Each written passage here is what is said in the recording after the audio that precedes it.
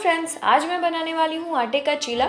ये बहुत ही टेस्टी होता है और हम इसे आटे से बनाएँगे तो ये बहुत हेल्दी भी होने वाला है और बहुत ही कम तेल का यूज़ करके आज हम इसे बनाएँगे। तो चलिए देखते हैं कि इसे कैसे बनाना है। इसे बनाने के लिए मैंने यहाँ पे दो मीडियम साइज़ का बारीक कटा हुआ प्याज ले लिया है। अब हम इसे एक बर्तन में डाल देंगे। साथ ही तीन कटी हुई हरी मिर्च।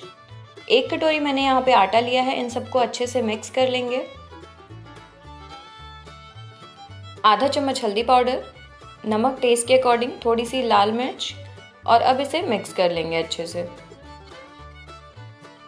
अब इसमें थोड़ा थोड़ा पानी डालकर इसका एक पेस्ट बना लेंगे। पेस्ट क्या? हमें इसे बहुत ही पतला पेस्ट इसका बनाना है।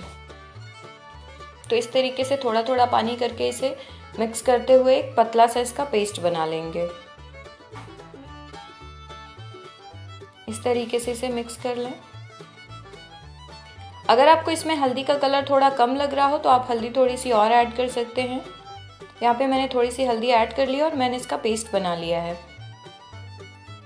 इसे मिक्स कर लेंगे अच्छे से, जिससे कि इसमें बिल्कुल भी लम्स ना रहें। तो ये देखिए, इतना पतला पेस्ट हमें चाहिए। तो अब ये बनकर तैयार है। इसे हम पाँच मिनट के लिए सेट होने के लिए छोड़ देंगे और अब पाँच मिनट के बाद इसे एक बार अच्छे से फिर से मिक्स कर लेंगे। और तवे को रख देंगे गैस पर हाई फ्लेम पे। जब तवा गर्म हो जाए, उस पर डाल देंगे थोड़ा सा तेल और इससे इस तरीके से हिला के मैं पूरे तवे पे फैला लेंगे। अब एक करछुल से या फिर लैडल से इसे इस पर डाल देंगे और इसे इस तरीके से फैला देंगे जिससे कि ये पतला हो जाए। यहाँ पे आप गैस का फ्लेम मीडियम या हाई रखें।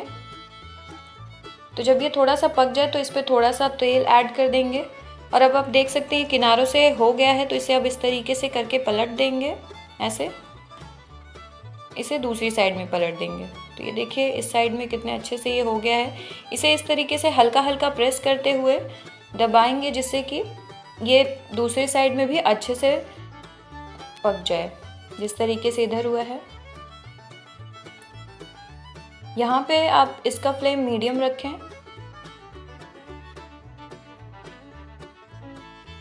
तो ये देखिए, ये दूसरी साइड में भी अच्छे से पक गया है। और अब इसे एक प्लेट में निकाल लेंगे हम।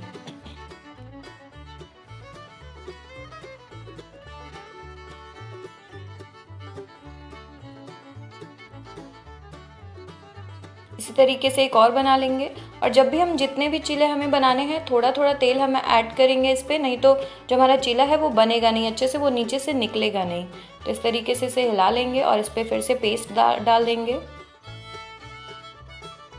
इसे इस तरीके से फैला लें, नहीं तो ये बीच में मोटा हो जाएगा तो ये खाने में अच्छा नहीं लगेगा। तो ये देखिए, ये इस तरीके से होने लगा है एक साइड में।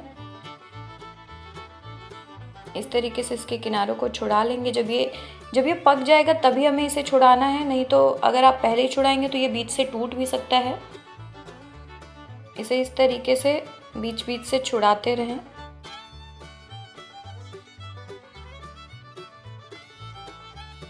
हल्के हाथों से करें, नहीं तो ये बीच से टूट भी सकता है।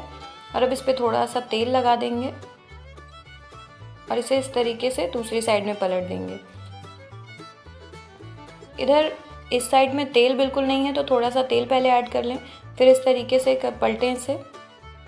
अगर ये थोड़ा बहुत टूट भी जाता है तो आप उसकी टेंशन ना लें।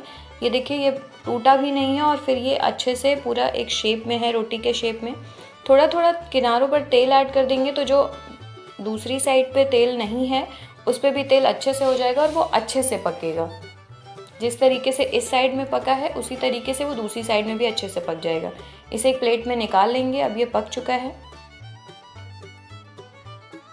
तो हमारा चिल्ला बनकर तैयार है। ये देखिए, ये दूसरी साइड में भी कितने अच्छे से हो गया है।